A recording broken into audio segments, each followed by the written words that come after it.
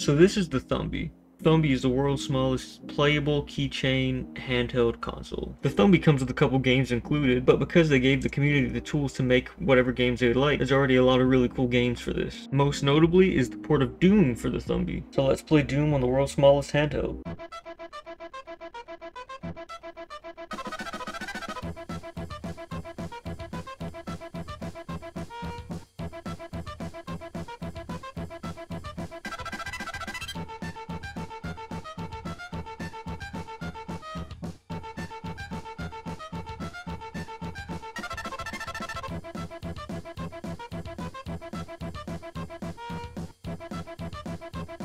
So yeah, that's what Doom looks like on the world's smallest handheld. That's all for me. I'm out.